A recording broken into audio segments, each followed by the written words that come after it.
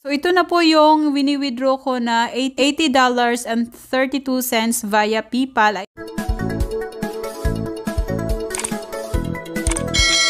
Hi everyone, Mrs. J7 here. Welcome back to another video. For today's video po ay magwi-withdraw na tayo kasi po na-reach ko na po yung $50 na pwede na po tayong makapag-cash out dito. Sa PayPal po yun.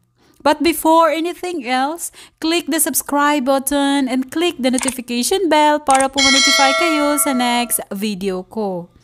Ako po ay nag-upload ng mga free earning apps and free earning websites na pwede po tayong kumita extra income. Sa mga gusto magpa-shoutout ng inyong YouTube channel, feel free to comment shoutout para po ma-shoutout kayo sa next video ko. Okay, nandito na tayo sa earning app na token app. Ayan po yun. So, as you can see, ito na po ang aking balance ngayon. May $80 0.32 cents po yung aking na-earn ngayon.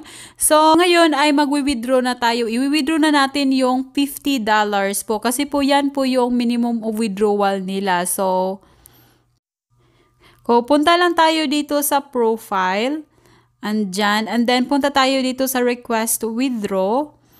Okay. And then, ito po, mag-select lang po tayo ng um, pay payment method which is PayPal po ang ating i-select. And then, select amount to withdraw. So, tap natin tong $50. Or, pwede nating kunin siya na $80 0.32. So, try lang natin to and then maglagay lang po ako dito ng PayPal email address ko po. So, ayan na po siya. Nakapag-enter na po ako dito ng PayPal email address ko dito. So, i-tap request withdraw lang po ako. So, itap lang natin tong request withdraw. So, ayan po yun. Ayan po. Wala na po akong balance ngayon kasi po na withdraw ko na siya. So, tingnan natin ulit dito sa, ito natin makikita sa statistics yung ating na withdraw. So, tap natin tong statistics.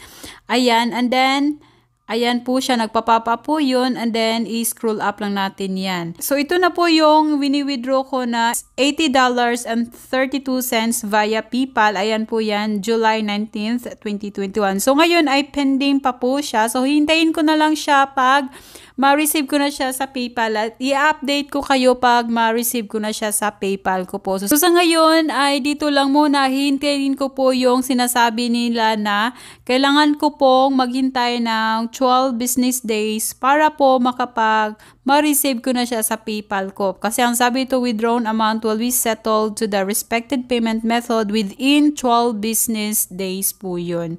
Ayan po siya. So sa ngayon dito lang muna, ayan po, i-update ko na lang kayo kung ma-receive ko na siya sa PayPal ko. Thank you so much for watching. See you in the next video. Don't forget to like and subscribe.